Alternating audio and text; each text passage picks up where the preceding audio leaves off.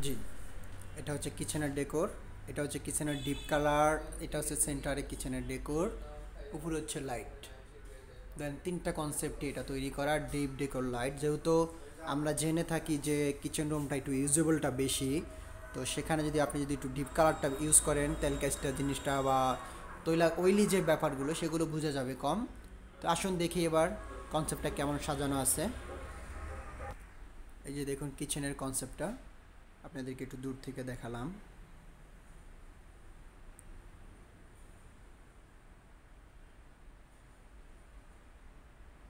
এবার আপনাদেরকে কাছের থেকে দেখানোর চেষ্টা করব। আসুন, দেখুন ভিওয়ার্স এটা হচ্ছে সেন্টারি ডেকোরটা দেখুন আপনাদেরকে ডেকোরটা দেখাই।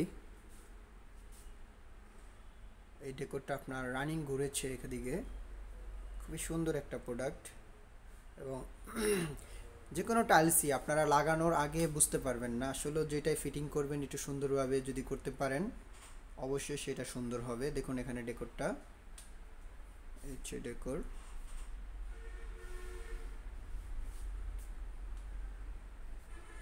তারপর যদি আপনি আপনাদেরকে দেখাই, এটা উপরে হচ্ছে লাইট কালার এখানে আমরা একটি বক্স তৈরি করেছি, যেটা ক্যাবিন বক্স বলি। দেখুন, এখানে এটা হচ্ছে কিচেন হুড করা।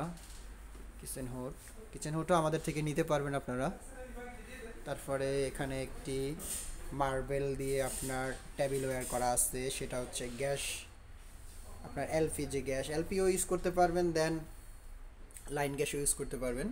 এটা হচ্ছে আন্ডার গ্যাস ওয়্যার মানে যেটা চুলো আর কি। এটা হচ্ছে আন্ডার দেখুন।